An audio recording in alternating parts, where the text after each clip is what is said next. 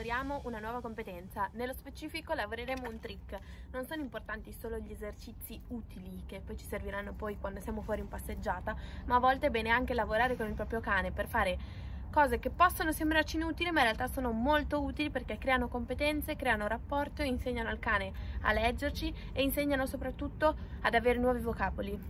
Quindi oggi lavoriamo lo spin e il twist. Per farlo, come sempre, ci serve solo un cane, Victor, e premietti, quindi direi che in casa dovreste avere sempre tutto. Partiamo! Posizioniamo il cane frontale davanti a noi e con la mano andiamo a fare un giro distante da noi, facendo sì che il cane ci segua perfettamente la mano, quindi andate piano, in modo che il cane segua. Paghiamo quando siamo tornati esattamente nella posizione frontale.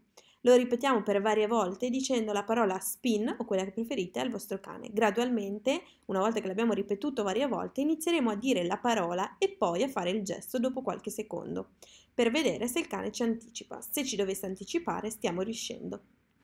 Mano a mano che miglioriamo nell'esercizio andremo a cercare di velocizzare il nostro gesto, quindi di diminuirlo. Facendo il gesto più veloce renderemo il cane più autonomo perché non ci starà seguendo il premio, ma starà iniziando il gesto che noi gli mostriamo e lo completerà poi per finire sostanzialmente da solo. Mano a mano che taglio sempre di più il giro, il risultato finale sarà questo.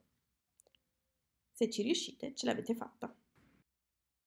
Lo stesso esercizio può essere svolto anche dall'altro lato, noi lo chiamiamo twist, esattamente le stesse cose che avete fatto per lo spin le andate a fare ma dall'altro lato. Lavorate gli esercizi in separata sede, altrimenti succede quello che è appena successo, il cane può essere che proponga l'altro esercizio, quindi lavoriamoli separatamente. Divertitevi e ci vediamo al prossimo video, se vi va seguiteci sui nostri social.